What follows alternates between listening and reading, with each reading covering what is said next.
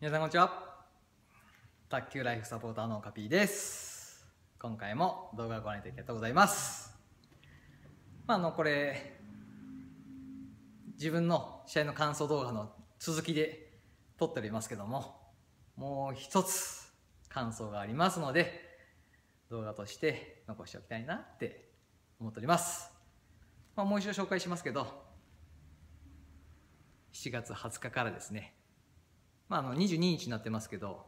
あの年代別は21日までやったんでね行ってきました。第71回 JF 日本卓球選手権大会に参加をしてきました。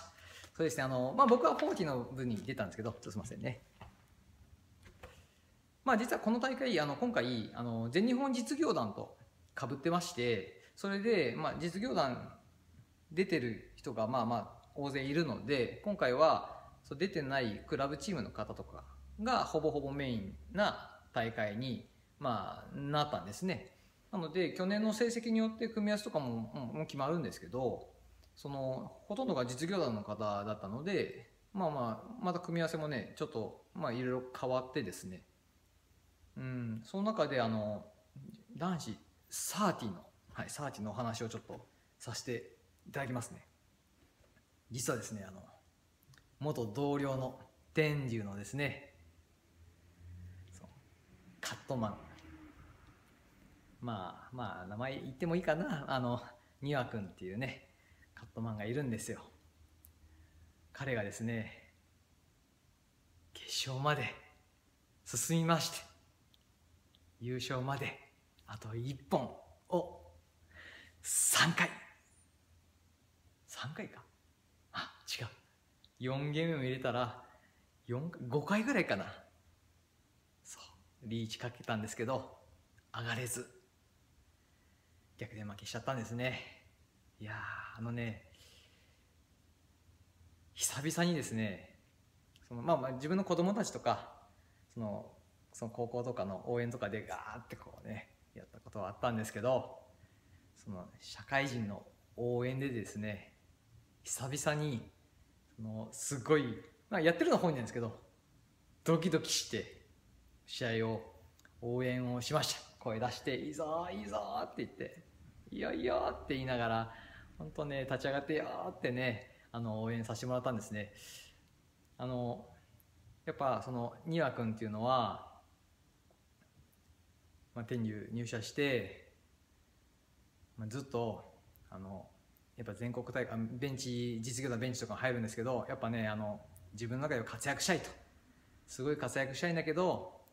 まだそこまでの実力ない。んだけどでも活躍したいっていうふうでねコツコツコツコツ、まあ、頑張ってる努力家なんですね。まあ本人はね努力してるとかどうかはちょっと 分かんない。けど僕の中でそう見えてるんですよ。だって卓球のの中ですごい成長が見られるんで卓球の成長もあれば人人としての成長も見られるし仕事の中でも多分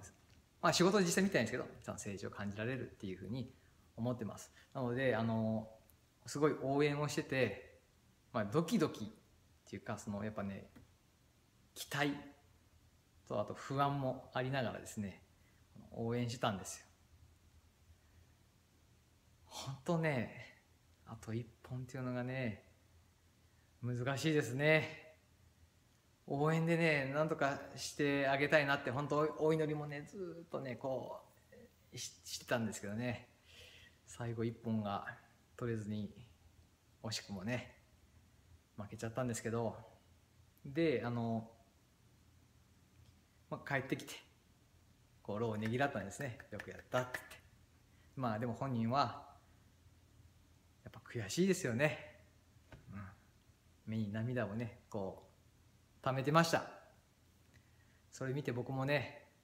泣きそうになったというかね実はねあのあと一本のところで僕ねうるうる来てたんですよずっとね。うわマジもうこれ優勝したら俺多分号泣するわっていうぐらいもう準備してたんですけどあの終わった瞬間にヒュッて引っ込んじゃいましたけどね。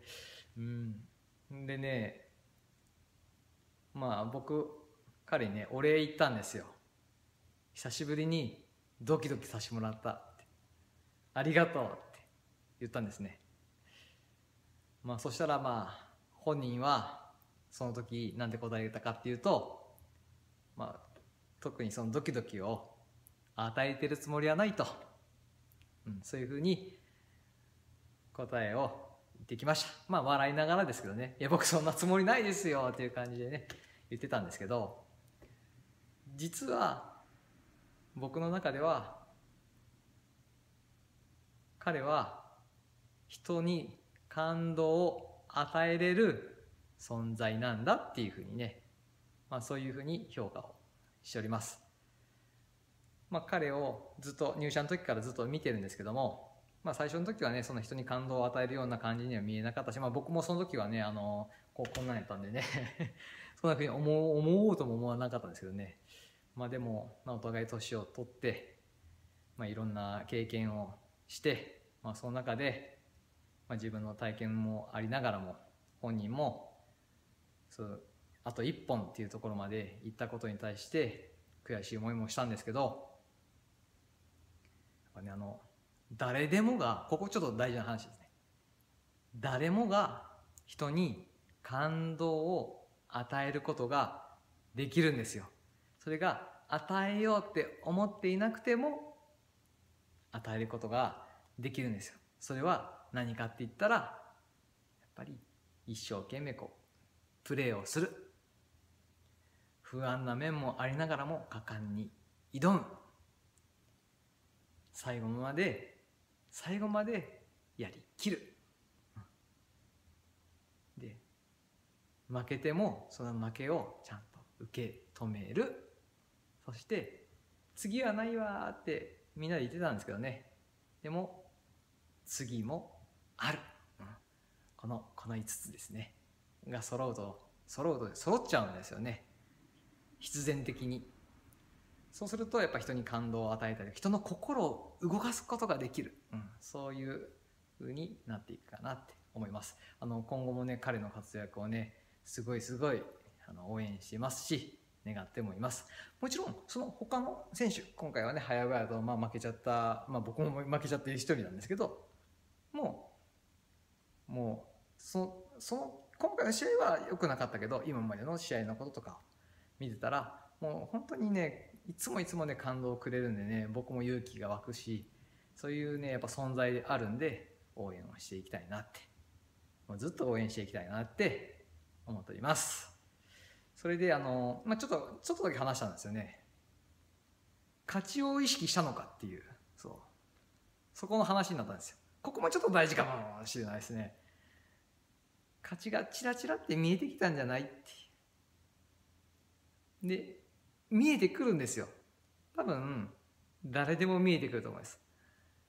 で見えてきたらどう思うかっていうと多分2つあるんですよ。その勝ちをガツッ掴みに行くのかガツガツッと。もうバカバカと行くのか勝ちっていうのを意識せずにひたすら一本ずつの積み重ねで点を取っていくんだっていうこの2つのパターンが。あると思うんですね。で僕は勝ちが見えたら、まあ、どっちもその時の状況によって、まあ、変わるんですその時の彼は丹羽君は自分を貫いたって言ってました。そういうのがちらついても自分の今やるべきことをただただやろうって。それでダメならダメ、そういうふうに言ってました。すげえなって思って、うん、やっぱねあのドキドキの中でねその平常心を保とうっていうことはね非常にね難しいんですよ。なんでかっていうと落ち着いてる自分を知らなきゃいけないからなんですね。その落ち着いてる自分っていうのを知らなかったらただただ真っ白な状態の中で終わるんですけど結果として、まあ、あの例えば優勝したっていうのはすごい大事かもしれないんですけどそれを繰り返そうと思ったらとか他の分野で何か成功を収めようとするとただただ出た結果ってただただ、まあ、まぐれでも出た結果っていうのは相当すごいんですけどそれを継続しようって思うとやっぱり自分の中でちゃんと自分落ち着いてる自分っていうのを知りながら自己コントロールをして何か成績を収めていくっていう方が僕の中ではいいんじゃないかなって思っているんで彼が言った勝ちがちらついたとしても自分の今やれるべきことをただただやり続けるだけっていうねその言葉聞いた時にねああ成長しとるなと思ってすごいなって思ってそこでもあのちょっと感動をもらっちゃってですねうんもう本当ますますね応援したくなってくる存在になったかなって思っております。まあ、あの今日のこのこのお話ももうこれでおしまいなんですけど、まあ、特に特にっていうかコンテンツがあったかっていうかちょっと分かんないんですけど、まあ、あの他のこのサーティの部の戦い方を見て元同僚の丹羽君の戦い方を見て僕が僕なりに思った感想でした。まあ何が言いたかったっていうと今度簡単に言うとめちゃめちゃ感動したっていうことですよ。で感動を与えてくれて本当にありがとうっていうことですね。また一緒に頑張っていきたいなって思っております。今回の動画は以上です。ご視聴ありがとうございました。またの動画でお会いしましょう。ありがとうございます。